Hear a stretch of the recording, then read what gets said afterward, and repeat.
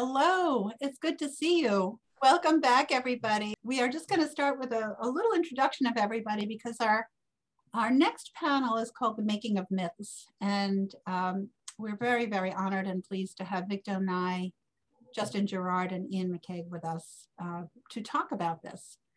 But uh, just a little background. So Greco-Roman sculptures of mytho mytho mythological figures carved thousands of years ago expressed the power of the gods and of the myths themselves.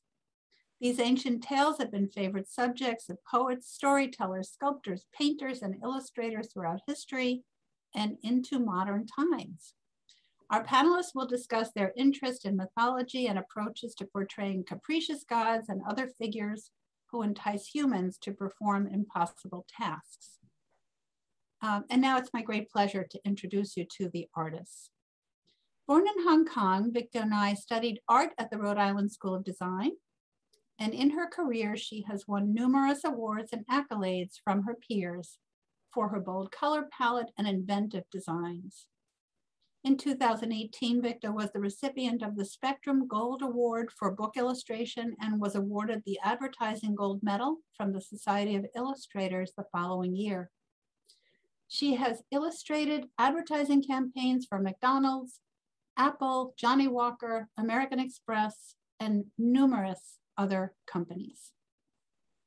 Justin Gerard's fantasy paintings exhibit a bold color palette, inventive composition, and terrific wit inspired by the artworks of Arthur Rackham, Palmer Cox, Maxfield Parrish, and the golden age of illustration illustrators.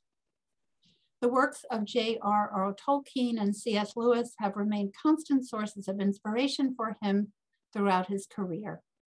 His clients have included the Jim Henson Company, Warner Brothers, HarperCollins, and Random House, among many others. And his work has been featured in Spectrum, the best in contemporary fantastic art, and the Society of Illustrators Annual of American Illustration. Over the past 30 years, Iain McCaig has designed concept art, storyboard art, and designs for several blockbuster movies. He began his career in cinema, creating artwork for Terminator 2, Judgment Day, Hook, and Interview with the Vampire. In 1999, he was hired as a principal designer for the three Star Wars prequel films, as well as the more recent Star Wars movies. He has also created concept art and design for the Spiderwick Chronicles, John Carter, The Avengers, Guardians of the Galaxy, Avengers, Infinity War, and others. Welcome. We are so happy to have you with us. Thank, Thank you. Thank you very much. You, you forgot to mention I was a stormtrooper in Empire Strikes Back. Oh my gosh, I somehow missed that fact. I did not yeah. realize that. That's a pretty amazing fact. Yeah, that's so cool. Very uncomfortable costumes. oh, I was, was going to ask, were you able to breathe? Uh, they just couldn't hear. Oh, you know, they, they'd yell action, I'd be waiting. and they tell you where to go, and you can't. No wonder those guys can't shoot. You can't see yeah. anything in those helmets either. Well, they look cool, so that's what it matters. Right. Exactly. exactly. Well, we're going to be, uh, you know, asking some questions here, but we invite our viewers to uh, put their own questions into the chat or the Q&A, and uh, we will bring them forward. And what we'd also like to do is to um, kind of stream some images in the background of the amazing work that these artists have done. And um, we'll be able to stop along the way and ask them a little bit more about, um, about what they created. So um, I might just start with uh, a question for all of you. And, um, you know, how did you become interested in storytelling? Uh, were illustrated books important to you as children? Were you, um, you know, encountering works of art? What, what was it and how did you get there? Uh, I can go first. Great. Very good. Yeah. Uh, so I started drawing kind of by accident. Um, my family moved around a lot. I actually attended like six different kindergarten. Um, because of that, I didn't have any friends, sadly, in my childhood, and my oh. parents were both very busy working um, parents. And I will I will go to my mom's office after school and um, she was the editor at a newspaper company. And then all she had to lay around were paper and pen. Um, so that was what I did. I started drawing to kill time and to entertain myself. Um, and that's how I started the journey. And um, I guess because there weren't any kids around my age to play with, I started inventing, you know, friends on paper that I will go to adventures with. Um, and I guess that's my, you know, early entry into the fantasy realm. Yeah. Thank you, Victo. And I, since we have this beautiful piece on the screen, I wonder if you would want to comment upon this. Sure. Yeah. Um, this piece is actually about uh, reserve savings for like a financial magazine, believe it or not. Um, so it's about being resource, uh, resourceful and uh, save up for, you know, the harsh days, um, especially, you know, for family. Um, so I, I'm, I'm very honored to be invited, but I also feel like kind of an imposter on this panel because a lot of the work, you know, I do are actually uh, for like not for fantasy clients, um, but I think fantasy just become like a language that I, I like to use to tell story and to solve solutions. Thank you. Absolutely beautiful. We're so happy to have you here. Uh, Justin, would you like to talk about your beginnings in storytelling and uh, tell us how you got involved?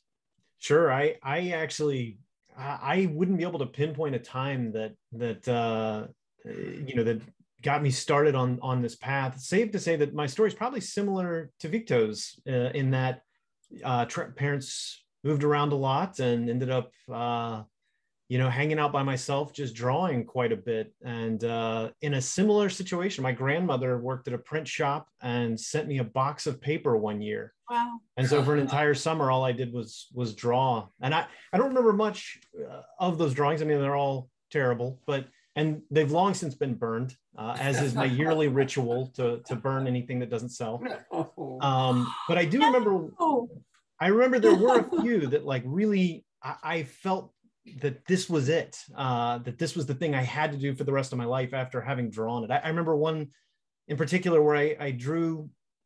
It was a tiny little fish swimming in a giant sea.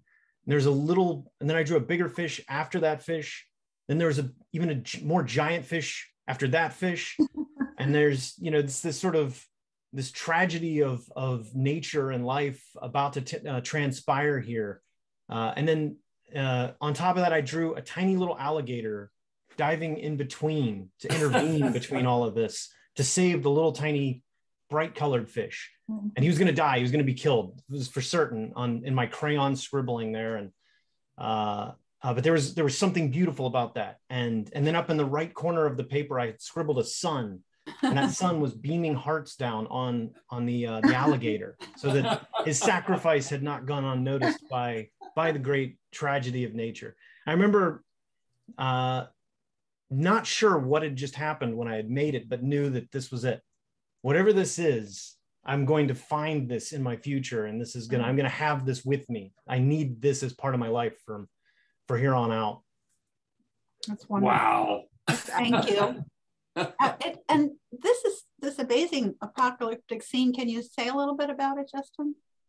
Um, uh, yeah, I I have to thank um, the people who've kind of supported me on on Patreon and Twitch for this. Um, I during the the pandemic kind of didn't know what to do with myself, like many of us, I guess. Like who had been interacting with our friends and our community, our tribe in many ways, um, at conventions and shows and galleries. And then suddenly we're not allowed to. Um, and uh, we're stuck at home and uh, probably spinning our wheels, losing our minds. And so I started doing more online stuff. And, and this was part of it, um, doing just painting and talking to people uh, who are watching while live streaming. Um, and so I can't say much about what the story is here, other than this is probably just me processing, uh, you know, emotions that were going on during that time as we kind of were all getting used to this new yeah. new normal in the world that was.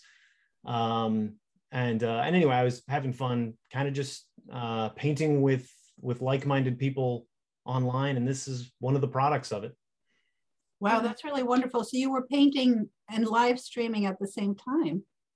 Uh, yeah, I, I've I, ever since the pandemic started, I I felt that I I I was missing that element of community mm-hmm. that I had had before, and so this was kind of my way of uh, approximating it. And now that we're even coming out of the pan- pandemic a bit, and and people can start to get back out and go to these shows again, thankfully, I'm still probably going to keep doing it. I, I find right. that it's it is actually a very enjoyable thing, and perhaps it is going to be part of the the world moving forward. That uh, we are a little more interconnected online. I mean, this what we're doing today is a great example of it. That we're able to to reach uh, our community uh, and interact with our community in this way. I think is wonderful.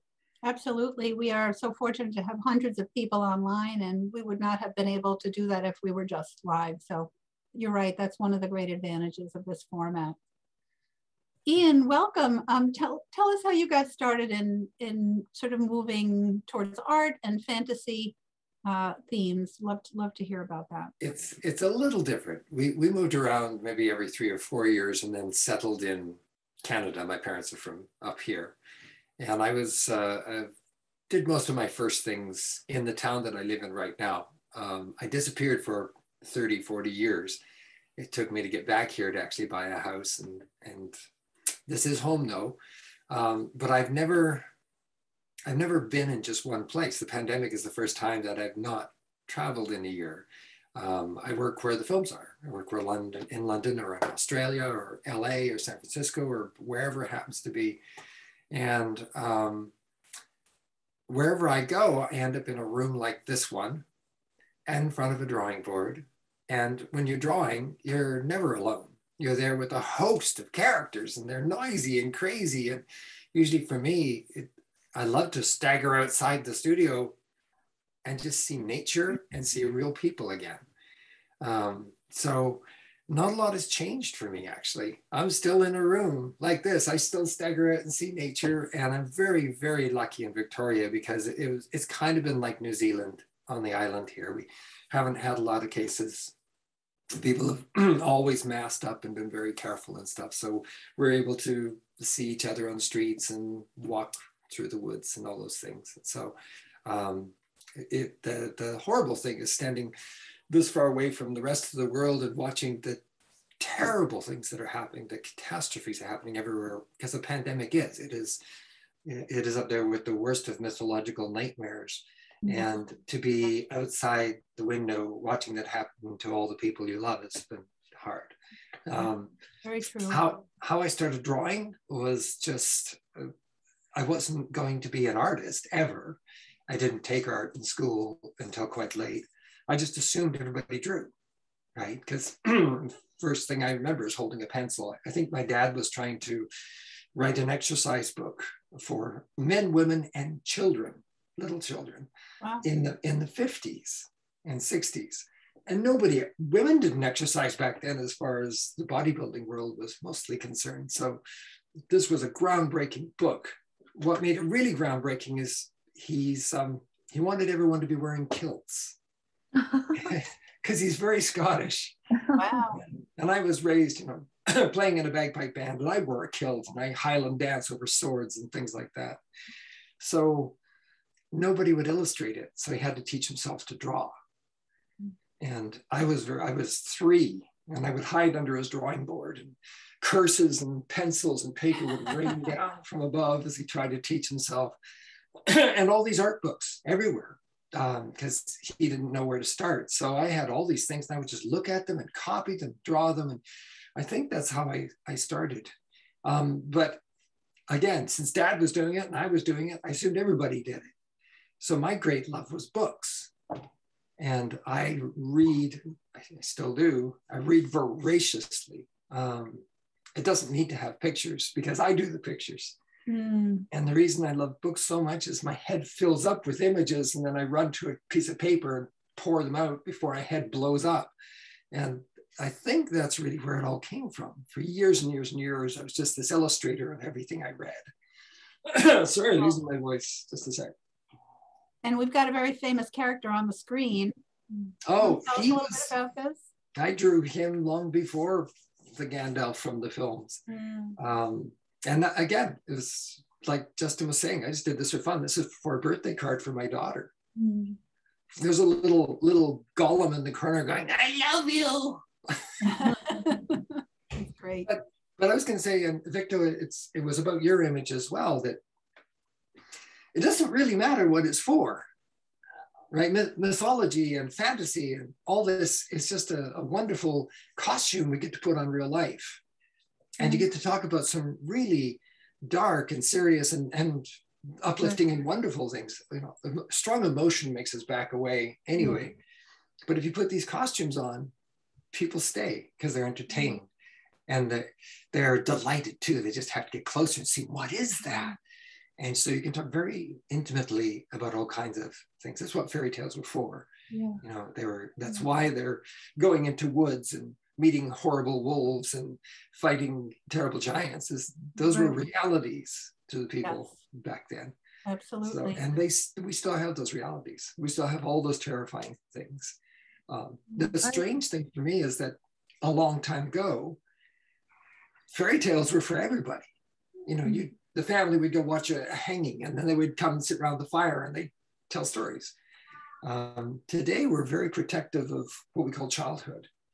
and we don't let them see certain things. They don't talk about certain things, and it doesn't feel doesn't feel right to me because um, kids experience darkness just as much as we do, um, and understand it even less. So I think these kind of stories are even more important for them. Right? Absolutely, and actually that leads to a, a question um, that has come in, which is, um, you know, are these archetypes that you are uh, painting and presenting uh, helpful for people today? What do they represent to us? Justin, you've got this amazing work on the screen. I wonder if you would maybe want to address that and say a little bit about this piece. Uh, yeah, this is inspired by Tolkien um, and uh, some of the events kind of going on behind the scenes, um, referenced in the Silmarillion. So, you know, uh, events directly preceding uh, those of, of The Hobbit.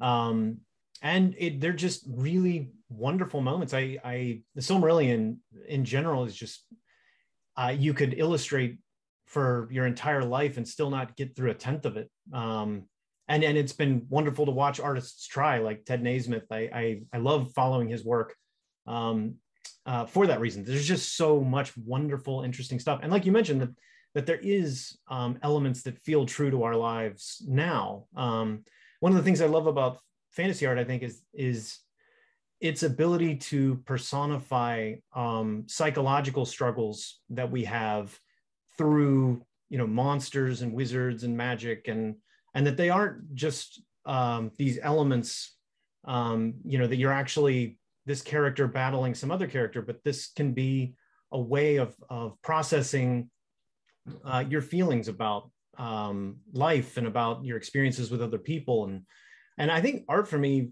for a long time, this scene included, are, are me trying to process uh, my feelings about um, things I'm trying to overcome or or think through or just understand. Um, and for me, visuals have always been the way that I've done that. Um, better than any other format, they've helped me kind of express those feelings and then also understand them for myself. Um, I love making images for that reason. That so many times they're a journey that um, I don't I don't necessarily know where I'm going to end up or what's going to be revealed in the image until it's until it's painted. Um, and so I love I tend to really enjoy um, images of struggle, uh, of of conflict and, and chaos. Uh, and so most of the images are going to be either the moment before the chaos or the moment of the chaos uh, uh, in in my work. I just I find myself more more drawn to to that kind of thing. And again, much of it is uh, psychological, trying to overcome something uh, mm-hmm. that you're working through in your own mind. Yeah, mm, thank you, Victo. Um, how do you how do you approach? I'm going to go to Iain next, but here's one of yours. Um, how do you approach thinking about the characterizations? Are there archetypes that you like to explore, or uh, you know, are you just uh, kind of developing things as you go? Um, well, before I answer that, not necessarily being 100% clear of where they're going. Sure. Yeah. Before I talk about that, I actually want to continue the conversation that I th- thought was great that Iain and Justin started, you know, about how myth is still relevant today and mm-hmm. like how it exists bigger than just the story is telling. Like I personally feel that a lot. I mean, from the way that I started drawing, I mean, it, it is in a sense it's like an escape for me from the reality, from the small, um, you know, four walls that I was confined in as as a kid um, in some way, like my mom tell me, I forgot about this, but like she said, I will actually reverse what's happening in class in my drawing. Like for example, if I was bullied at school that day, I will actually become, you know, like someone who like tell on, uh, not tell on, but like like save the kid from being bullied, like uh, alternative universe that something maybe I wish had happened. Um, and I agree with Justin that so much, you know, of the struggle we see we can project our own difficulties, you know, onto these characters and then get strength from these people. Um, and what I love about fantasy, I'm also a big fan of Tolkien. Um, although I wish not all the bad guys are dark skinned and all the good guys right. are like, like um, but I, I, what I love about fantasy and the archetype is that they're somehow um, abstracted and also extracted from our reality enough that um, it become universal in the sense that like for different people who see it they might be able to learn different lessons or, or um, get different messages uh, mm-hmm. from them and, and i thought that's really wonderful yeah thank yeah. you very well said can i, can I actually Iain, can you jump in on that question and sure yeah just um, uh, I've been very lucky and I love all stories, all kinds. It doesn't matter what it is. Uh, I don't actually read a lot of fantasy. Um, I did, but uh, these days I like I like stories about real people, and then I just put horns and wings on them, and, and they sell sell better. Like I say, it's a disguise. Then you can talk about things. But I I, um, I find that real people in real life are the best fantasy characters ever. I can't believe what we do. I can't believe what we're capable of. Um, both the horrifying things and the absolute wonderful amazingness uh, that human beings are capable of too. And I find that the horrible things get talked about a lot more. Quite rightly, they're they're very dramatic. When if you talk about a war, choices come down to black and white very often. It's the, the gray disappears, and it's easier for us to talk about conflict that way. But um, I actually, when I was a kid, I had a copy of Dante's Inferno. Mm-hmm. And it was illustrated by Doré, and it was those beautiful black and white drawings where you know you watch Dante go down to the different planes of hell, and and then finally goes up to heaven. And as he's going down through hell, everybody looks like they're having a great time you know, they're all naked and they're roiling around and everybody's like, you know, having a party. I mean, with a few pitchforks and, and suffering looks, but otherwise they look fun.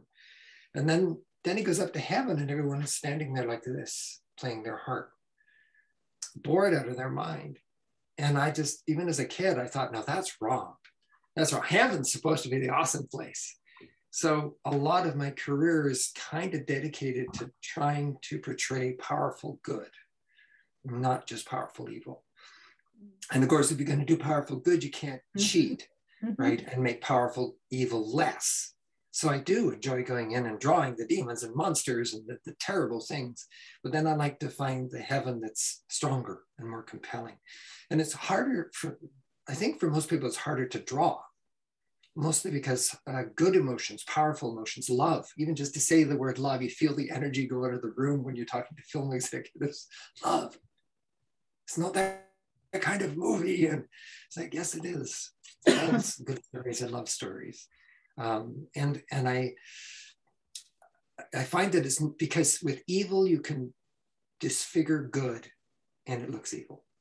With mm-hmm. good, you just have to show the thing. And the thing has to have a context or it's not good. Good is doing the right thing in the face of all the bad choices you could have made good is doing something kind for someone and not talking about it.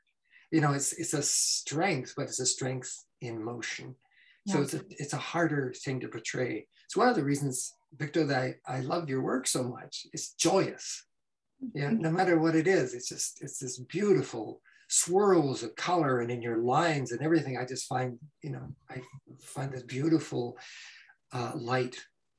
And Justin, is not to disparage the battles in the darkness. You know, I love that stuff to pieces. well, speaking of joyous, this this Yoda is really joyous. A little bit about what it has been like to bring some of those characters to life.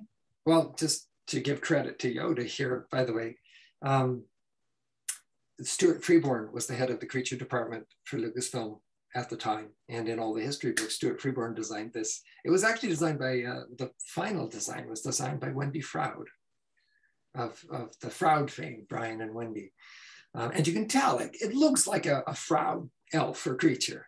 Mm. And uh, Stuart absolutely oversaw the department did a lot of great sculpts too and helped get it very close. I think he helped bring in the, the some of the wisdom into the eyes and stuff, but Wendy did the final. So, and Wendy's a good friend and it was a real treat to take her character and try and help it into a new form because we're doing the prequels and we're allowed to digitally animate this character now.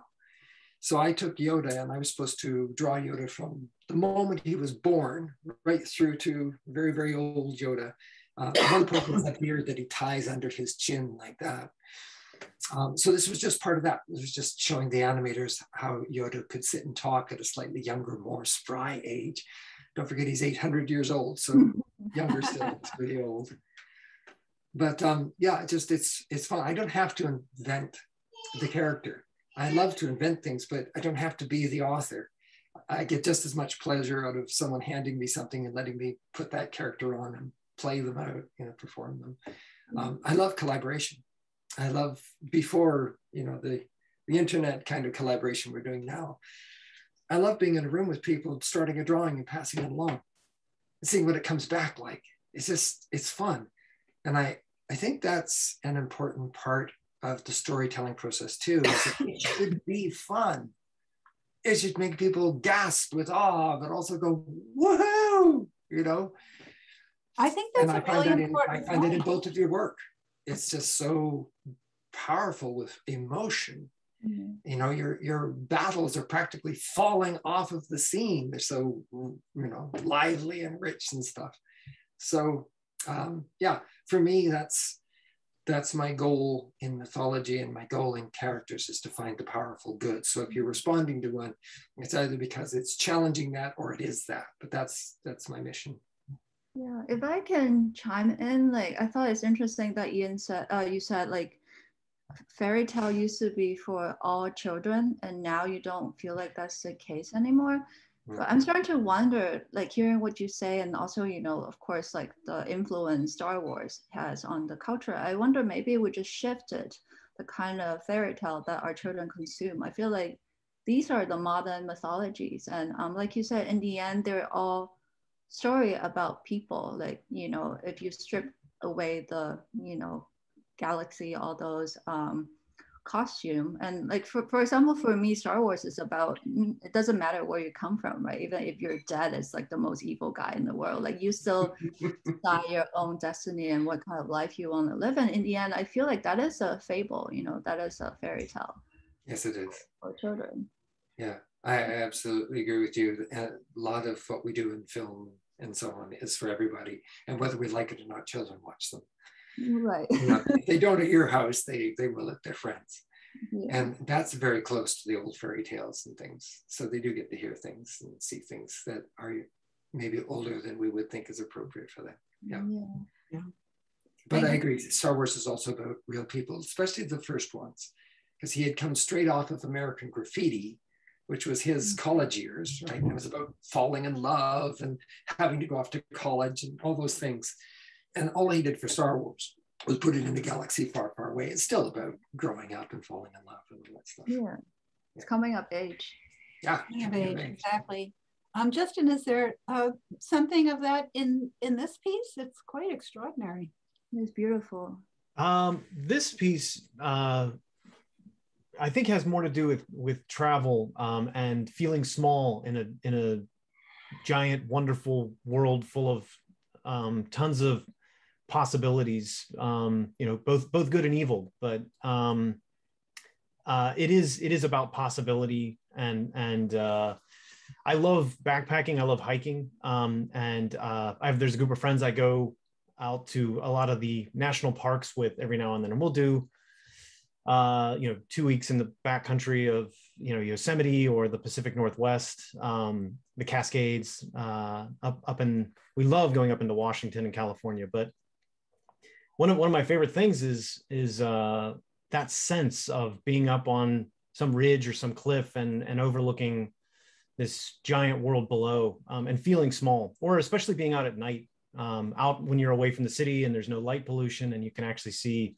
you know, galaxies overhead. Um, I I love uh, that sense of of wonder at the world, and so um, I think this is part of that.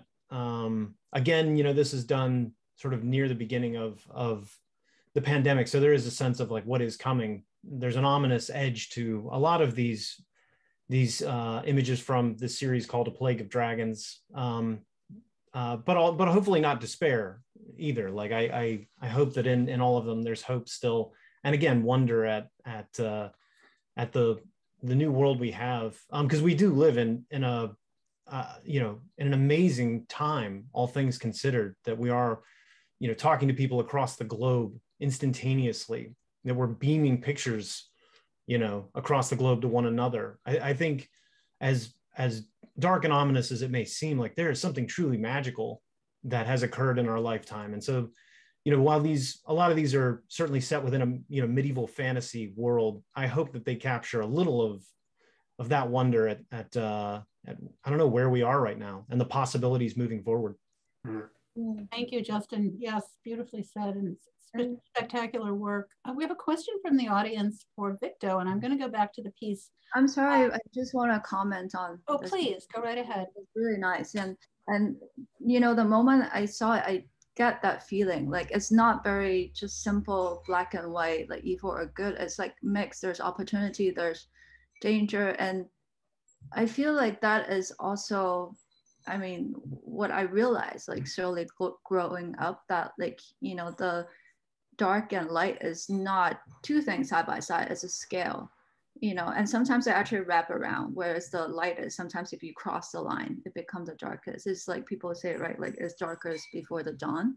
And it kind of reminds me this piece actually reminds me of um, the chinese word for danger which is weiji but you if you um, divided that two characters side by side actually mean danger opportunity um, so I mean, I feel like that's also ingrained in you know the Chinese culture that everything has two sides. It's it's kind of like you know how you play it, and then um, even with the most devastating thing, there could be something like good come out of it. And it, I don't know, like I, I saw this piece and I definitely get that. You know, like even with the overwhelming, um, you know, fire breathing dragons like you still have that little like sliver of a moon and that tranquility of this like star starry sky behind it um, so I, I, definitely feel like it has very you know like interesting mix of feelings absolutely that, and that beautiful break in the clouds on the horizon with the light pouring through it's really beautiful. yeah and the light is mirroring the fire so i'm like wondering is the village on fire or is the sun coming out and you know a new day starting it's like you a lot of questions can be asked and mm-hmm generate a lot of curiosity about this piece. Thank you. Thank you. And we have a question from Juan, um, who would like to know a little bit more about the creation of uh, Victo's Utopia. So I'm going to go back to that one and um, maybe see if you could fill in a few details for our viewers. Sure. Yeah. Um, I feel like the creative process of this is very similar to Justin's like big fish, big fish, alligator son. Uh, mm-hmm. it's kind of a story that, um, well, it was for a calendar project called Frogfolia, which is no longer in existence, but it's quite a like cool project by a print shop that is themed around frogs. So it's very open-ended. Anything to do with frogs is fine. So that's the only requirement.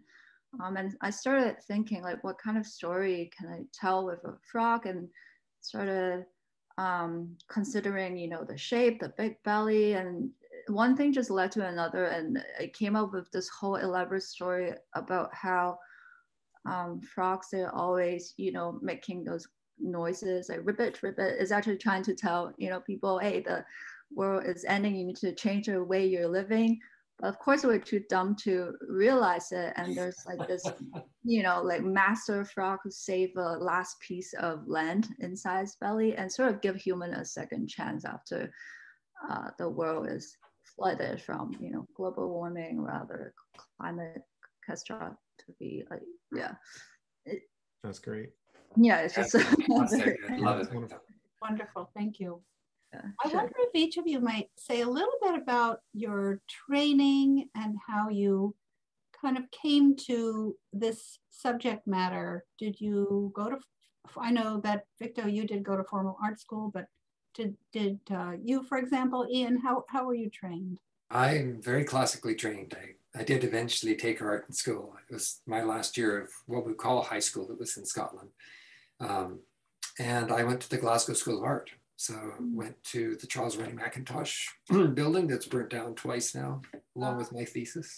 No great loss there, but the building was amazing. And um, it was, uh, by then I knew I was going to be a writer, not an artist.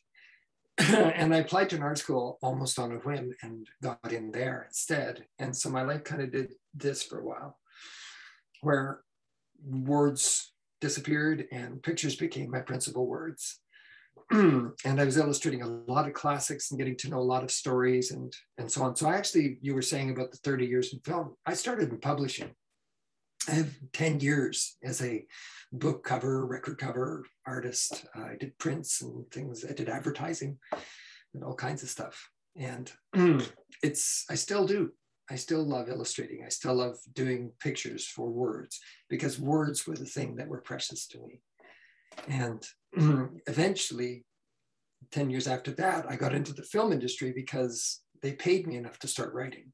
Mm. And I have a 30 year career as a writer as well, uh, which most people don't know because you have to be in that world. Um, I read a lot of screenplays um, I have published some books. I have two books coming out this year. I continue to take the stories in that closet back there, which is just crammed wall to wall with my stories. And congratulations! Get, Can you tell us what the closet? What, what books are going to be coming out? Uh, something called Once Upon a Time in a Sketchbook. So it's a sketchbook with a story. Um, I have a revised version of something called Shadowline, which looks like my art book, but it's actually it's a novella on an interviewer that doesn't exist that wrote the book. And he comes to get the interview from me with a secret mission of his own and dis- discovers all kinds of incredible things. He even kills me at one point and that brings me back to life. Um, but it's really, it's a fictional version of the creative journey. So it's what happens when, when an idea comes into my head and comes out the other side as a picture what actually happened. So I dramatized that as characters and so on. And it was just to teach people how to draw and how to be creative and how to not be afraid of the big mm-hmm. blank white page. That's, an, as you said, it's an opportunity as well as a, a you know reflection of whatever you're feeling at the time. So um, I did four years of art school. I have an honors degree in design. Uh, I didn't learn to paint that happened when I left. I went down to London and, and started working as an illustrator and mostly doing black and whites because I knew how to draw. Um, and then I got this commission to do a record cover for Jethro Tull, um, mm-hmm. who were a huge band at the time, still still pretty big, and they were my favorite band. So somehow you have to just level up when when those album cover was that in. You just have to be be better than you are, but there was a, uh, a, wonderful illustrator, Brian Sanders, who just mm. people these days known for the stamps he paints in Britain. But he's a wonderful teacher, and he recognizes artists that are struggling. And he saw me trying to paint, and he just called me in and said, "Iain, Iain, no, here." He put a piece of paper up, and he'd do this beautiful wash with watercolor. Let the water do the work. Here, you do it. And I would do it, and he'd go, "Good, do it again." And he just literally had me paint beside him until I learned how to use watercolors. Mm. And thank you forever, Sandy. It's just a, what a gift. It's part of the reason I like to teach. It's part of the reason I like to give back is I've never forgotten that generosity that four years of art school didn't give me. So um, this piece that was on the screen there, that was digital, but digital is just a new form of oil paint, you know, which is an alternative to watercolor. It's, you know, it's all ways to tell stories. And these days, by the way, I don't see any difference between pictures and words. They're the same. They both can tell stories. They both, you know, carry a little capsule of meaning. And it's how you put them together that tells the story. Thank you. So that's my training. Wonderful. Justin, how about you? Were you formally trained and uh, how did you move in this direction? Uh, yeah, I I was though like Iain, I didn't really uh, start, I guess, until afterwards. Um, and I, I found that I, I just hadn't learned any enough of what I wanted. I couldn't create the things that I wanted, and so I was still casting about for how to you know plug the gaps in my education. And and uh, this is in the era before the internet, and uh, one of the best resources I had at the time was a was a library that had a bunch of step by step guides. I don't know if anybody remembers that that old step by step graphics. I remember them. yeah, I so I they had one by Peter de Sève, one by Greg Manchess, um, and I remember I I stole them. I stole them, and I never gave them back. Not ever. I, I literally took opportunity away from the generations that followed after me and i have i don't regret it. Um, they're on the shelf behind me actually. They've been with me now 20 years. Um, i'll never give them back. Uh, one of them actually Corey Godbey stole from me. So i uh, maybe that's maybe that turnabout's fair play there. But um, uh, it was wonderful having those as guides, and I'm forever thankful to uh, to Manchess and and de Sève for their contributions to art education through those books. Um, they uh, both heavily in, informed my own work early on. And to this day, uh, they're still big influences. Um, later on, 10 years later, though, after I'd worked uh, in the industry for seven or eight years, uh, I was not getting the work I wanted. I was not happy with the work I was doing. Um, had kind of like a, um, uh, an existential crisis almost that, that what was I even doing with myself? Um, and uh, decided that I needed to reinvest um, into my education. And this is again, you know, it's kind of a hard thing to do. You know, ten years into your career, essentially, and uh, I ended up uh, going to the IMC and and uh, the illustration masterclass and learning from uh, Donato and Charles Vess was there, and Dan dos Santos, and again Greg Manchess, and um, it was wonderful uh, spending time with them. But I would say that I studied after that. I studied with Tom Fluharty um, and Petar Meseldžija. And probably that was probably the the the best thing I ever did in my career was I you know seek out professionals who were doing what I wanted to do and and um, ha- had you know I, I felt so much um, they had figured so much out and I wanted to know how mm-hmm. um, and so they were both uh, kind enough to um, uh, give me some guidance. And I remember with Petar, I actually spent a day in the Rijksmuseum looking at a, a painting of Rembrandt's uh, Jeremiah uh, lamenting the burning of Jerusalem. It's kind of a small little little painting, and we sat in front of that painting for I don't know, it was like three hours, and he just told me all his thoughts on the painting for three hours, and I think I got more in those three hours of just looking at that Rembrandt with Petar um, than I had in you know the previous 15 years. Um, and so i don't know i uh, it's hard to say you know um, art education if, it ever ends truly you know I, I, feel like we're all there where we're all going to be continuing to push that further as our entire lives as curious uh, individuals who want to know like how other artists did what they did and um, what else is possible out there. And uh, and yeah anyway uh, that's all I would I would leave that as uh, a big thank you to to all the people who've who've given me guidance in my career. I would not be here without you. That's a wonderful tribute for sure. Victo, how about you? What was your training like? And um, were you moving in this direction in art school or did that happen later? Um, well, I didn't have any formal training until RISD, and I honestly wasn't sure if I would even be accepted. Uh, RISD was the only art school I applied because in well in Hong Kong, art is not really considered a viable career option. I mean, even now it's still very difficult, very limited uh, opportunities.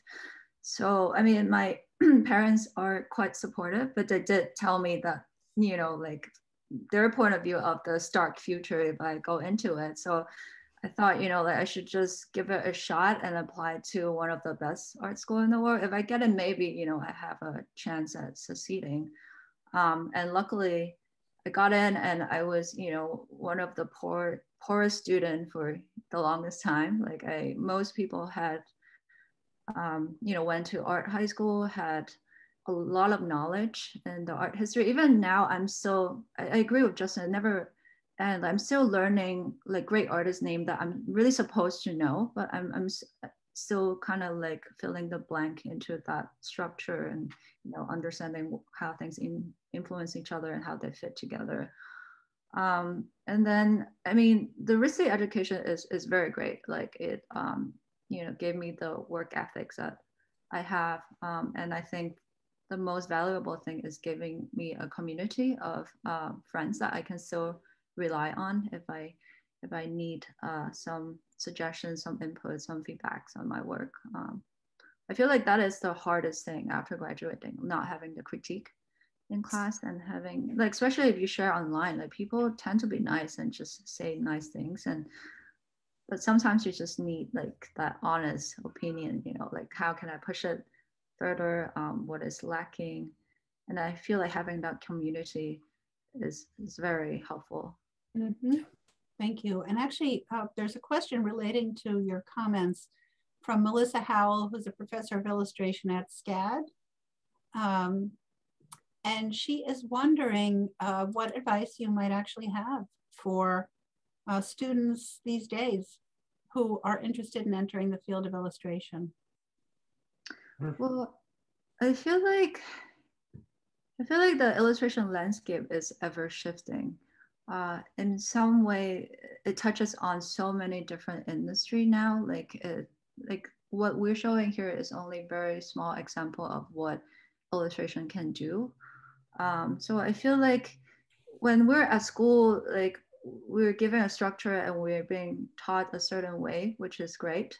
Um, but there are also many opportunities. So don't despair if you feel like you're not clicking with the class or the assignment is not interesting to you. I think it's very important to remember why you go to art school in the first place. Like no one go to art school because they want to have a Lamborghini or like a, you know, like we love what we're doing and like for a while i almost lost that passion um, at RISD wow. actually because because i was trying so hard to catch up, you know, trying so hard to fit in, um, that it at some point become not fun.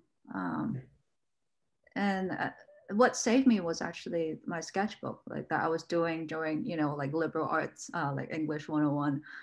Um, and that's what I was still enjoying. Right, so I think just remember to find way to hang on to that passion because it's so easy to lose it, whether at school or when you just have to pay bills and take on jobs you don't love you know just constantly remind yourself why you're doing that great advice. Thank you.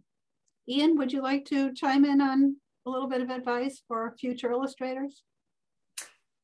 Yes um, there's so many opportunities for artists now that didn't exist when i started. Um, games and films have bludgeoned with job opportunities. There's a trap there though, and that's that when you're part of a collaborative piece, and everything you do is offered to a director who chooses whether they're going to use it or not, you can mistake that for whether it's any good or not. Um, and it can destroy. I've I've have so many emails from young artists who say, I, I took your classes, I did everything you said. I have the job of my dreams. I'm the art director of this and that movie and studio and so on. Why do I want to give up? And the, the answer is that you train like a Jedi, you train with all these amazing powers, and then you give it to someone else. And you never remember to give it to yourself. So my best advice to, to not just students, but to professional artists as well, always, always, always have a soul sketchbook. And that's a book. It's different from your other sketches. It's a book that every day you put something on the pages that you're passionate about, something that makes you really excited. It can be a negative emotion too if you want. It can make you really afraid. But I, I think if you can capture joy, something you'd run naked in the snow just to see, put it in the book. And it doesn't matter how you put it in the book. Put it in by drawing it or writing it or tearing it out of a magazine or stealing it from a library. Just put it in the book and don't look back through the book. Just do it every day so that six months from when you started, you go through and you look at every page of the book. And I guarantee if you were honest about what really moves you, that's a snapshot of your soul. And number one, it will keep you sane. It'll help you stay centered and find who you are and stay passionate about the things you love. And number two, it'll help your job because when you present a design like this, you know, show John Carter meeting Dejah Thoris and she's already getting married to someone else. And it's that moment where you just don't know the next step. You don't know what happens. You don't know the way forward. That came from something in my sketchbook and came from something in real life that happened to me. And I put it in there and it was happy, sad. It was bittersweet. I was happy for the person. I sad for myself. Mm. And you just take a little piece of that soul and you put it inside the design you're doing and it comes to life. So I recommend that for students. Keep a soul sketchbook always. I love the idea of a soul sketchbook. Thank you. That's so helpful. Um, how about you, Justin? Do you um, have a little bit of advice for students? Oh, let's go to that one. Here we go. Uh, yeah, I, I would have said the exact same thing that, uh, that Iain and Victo said. I, I, and it's the the sketchbook is the the number one thing, uh, and and that's one of because I love that it it's one of those things that it's not necessary to be skilled uh, to have a sketchbook. like you need no training whatsoever. My sketchbook is it probably looks about the same as it would have 30 years ago when I was just using stick figures. Uh, that's all you need to make you know compositions of incredible elaborateness and uh, capture your ideas about a scene that you may have read in Tolkien or what, where, or that you've seen in real life, but want to reinterpret. Um, all you need is stick figures to capture the essence of that idea, and then hey, maybe ten years later you'll paint it. Um, if if that's what you need, if you need to go develop the skills in order to actually communicate that scene like you want it to. But the best thing ever is to have it. So I I can't really improve on on what Iain and Victo have said about that. So I'll, I'll add something else, and that is um, read and um, read, write, and world travel are three of the most important things you can do to broaden yourself as a human being. Um, but I also think as an artist or a creative of any sort, they're they're indispensably important. Um, uh, I don't know which which of you it was who mentioned sort of filling up uh, yourself and then pouring it out um, mm-hmm. earlier. But that idea, uh, I think, is really, really important for your own work. Um, when you're in getting art education, you're going to be doing, you know, drawing formal things, tables and chairs, learning to draw squares and capture light and shadow on form. These are very, very boring things, but they're like knuckle push-ups for your artistic brain. You need them. You have to be training like this, but they're they're not going to be fun it's up to you to find that fun stuff and and uh, to sort of fill your mental library with those things. And so um, I've always been a big fan of if you can travel. Um, number one, it's it's it's just one of the best ways uh, to get new experiences, to broaden your understanding of humanity, of what's of of other form of other lifestyles, of other lives, um, the ways that other cultures live that you might never have guessed about. These things, all of these things make your work more colorful, more interesting, um, and broaden uh, your ability to communicate to, to other humans. So, and to say something interesting too. So I, I'm, uh, I'd also say get out of the, get, get away from people. As much as I would say go travel and meet people, there's also some um, value in getting back to nature too. So uh, every background and all of my images is a place I've been including this one.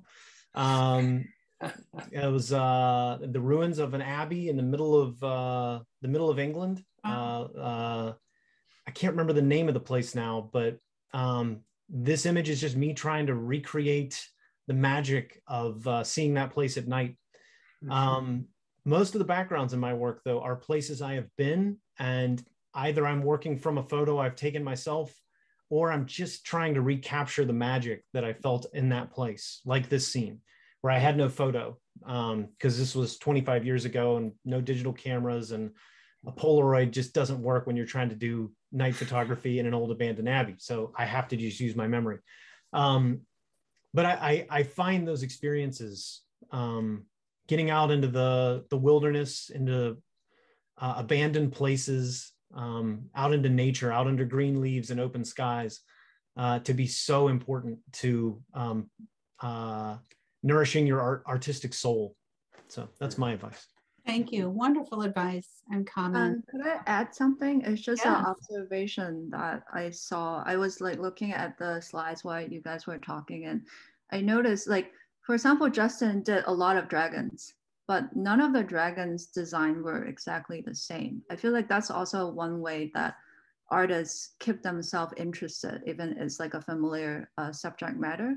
And I think it was Einstein who said that creativity is intelligent at play or having fun. and I feel like I see I see that like the kind of fun and design decision you make into like you, you have into the dragon design. Like for example, if we can go back to the one that's in the water, um, there's a dragon in the water, the right? For example, this one, like the scale is much thinner and kind of like resemble that of a fish, right? Because it's like a water dragon. At least that's my interpretation. And then there's another one with the hobbit um, and like covered in gold like I thought it was so interesting. The dragon scale resemble gems, you know, like rubies or like sapphires. Mm. And I, I feel like for people who are in, interested in art and look long enough, these are the Easter eggs that reward the audience. They understand, you know, this dragon doesn't just represent, you know, this danger, but it's also the enticement. Like it itself is also embodiment of that, you know, like lust um, and greed. And I feel like small details like that keep artists interested in their work and also mm-hmm. make their work much more rich for for the audience. Thank you. Can I chime in on that too, just for a sec? Um, I I heartily endorse the travel, and even if you can't physically travel, travel through books and the internet, but travel to other places, look at other cultures and other mythologies dragons exist in every culture of the world, and they mean different things in different parts of the world. Um, I'm actually I'm working on a project, a Korean project right now uh, for a book that I don't believe has been translated outside of Korea. It's called The Bird That Drank the Tears, and it has a dragon, and that dragon's a plant, a living plant and it has a different purpose and spirit than something that is greedy and and uh, to be feared. And it's the same uh, in china right? The the dragons there are are gods and have all kinds of really wonderful um, purposes with mankind and mm-hmm. things that they give to mankind. And so um, it, you can easily get locked into something especially by television you know because it refers back to a lot of European Middle Ages right. mythology. Totally. And I've always thought it, it's really good to, okay, now go to India. See what they were doing at the same time. Go her, read the Mahabharata and the Ramayana. Understand that in a different culture, the same archetype appears, but this is what it meant here in this place. Right. And that frees you up too. Now, when you go to do your own mythology, you can take an archetype, but don't be bound by what you thought it was. It can be whatever you, it means to you personally. Thank you, Iain. Great comments. And that interconnectivity between cultures is, is so important to remember. Mm -hmm. um, we're getting close to our one o'clock hour, but there's a question here that I'd love to bring forward um, from uh, someone on YouTube. And that is, um, if you're working on personal work, um, maybe perhaps even on illustration, how do you decide which ideas are worth pursuing um, in terms of uh, you know how you're going to move forward and how do you work with um, you know kind of yourself when there's no art director to offer commentary All right, so I'm gagging myself because I got an instant answer. All ideas are worth pursuing. What are you talking uh, about? Yeah. All ideas. It's what you do with the idea that makes it great. Yeah. Right? The idea that's worth pursuing is from your soul sketchbook, right? If it didn't give you passion, if you didn't want to do it, hijack it. Find something that you do want to do and tell, make it, make it about that. But yeah, it's got to be something that has meaning for you. But any idea can work. Of course it can. right Yeah, I, I, forgot like another wise people said like there's no lack of good idea. There's always good ideas. Like how do you bring the idea to fruition? Yeah. Right? How do you execute it and what can you extract and distill from it? That's the difficult part. Great. Justin? Yeah, there's there's uh I something I talk about the the Venn diagram of uh what you're interested in versus what people will pay you for uh you know and it's i think starting out like yeah you just have to do them all uh get out there and just start doing doing the ideas that are exciting to you and see which ones hit that narrow overlap uh, it's dangerous to go purely into that other side though where it's only the things that people will pay you for hmm. that's when you start to lose your soul and and forget why you did this um, and like Victo was saying, there's better ways to get a Lamborghini if that's why you're here. Um, you know, this this isn't the industry for you if if that's what you're after. Like it's it's better to stay as as far on the other side as you can. But it is nice if you can find that narrow margin in between where you've hit the thing that is clearly speaking to other humans because there's something important there. You know, if it's something that speaks to you and it speaks to others, you know, there may be a reason that that that's the case, and you should chase mm-hmm. that. Yeah, I can't agree more. And um, I think throughout the past 10 years of me working, I also slowly realizing that you can create your own market. Like, of course, it's nice if you find like a patron or a client that just love your work instantly. But I realized that artists also can educate their audience and educate their client. Like when I was starting out, like a lot of clients, especially you know financial clients, they were pushing back on using metaphors with you know animals or mythologies to represent Wall Street.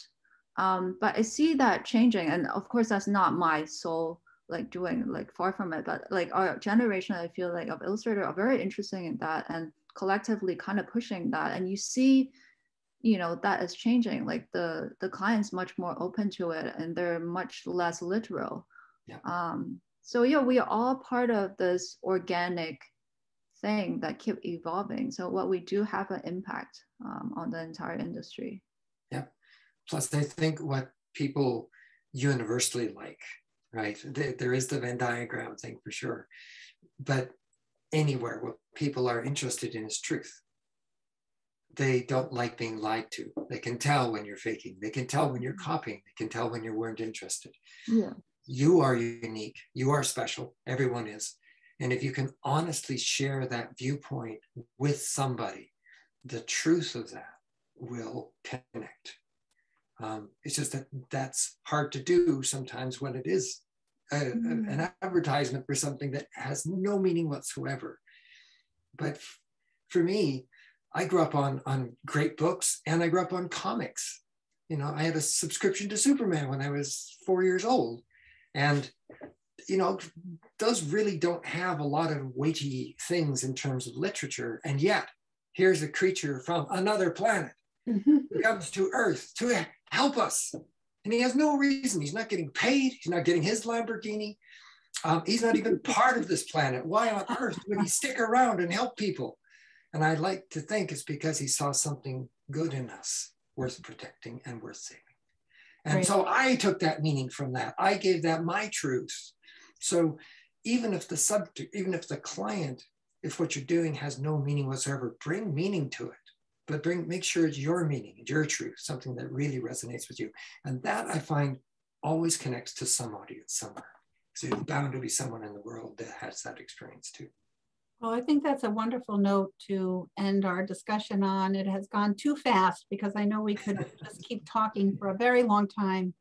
But we have been so honored to have the three of you on today to share your work and your ideas. And I just want to remind our visitors that um, these incredible artists' work will be on view at the Norman Rockwell Museum for another week in Enchanted, History of Fantasy Illustration. Uh, the exhibit will then travel to the uh, Hunter Museum of American Art in Chattanooga, Tennessee, and the Flint Museum in Michigan. So we are excited about that. Uh, can't thank you enough for being so supportive and um, for the beautiful work that you share with the world. Thank oh, you. Welcome. It was a gift to us too. Thank you. Thank you. And thank you to all of our viewers. We're so happy you were able to join us. Uh, I'll just mention we have another wonderful fantasy related show coming up. Um, opening on November 13th, we have an exhibition of the art of illustrator Jan Brett, yeah. uh, stories near and far. And so we look forward to that exhibition this fall and over the holidays. So hope Fantastic. to see you all again soon. All right. Thank you again. Take care. Thank you. Bye bye. Bye bye.